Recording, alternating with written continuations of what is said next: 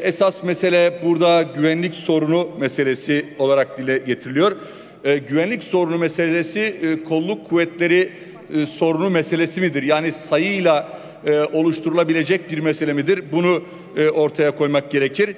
Yani komşularından ölüm listesi hazırlayabilecek bir nefret e, ortamının e, ikliminin oluşturulduğu bir yerde bekçi sayısının arttırılmasıyla, kolluk kuvvetleri sayısının arttırılmasıyla e, güvenlik ve huzur sağlanabilir mi?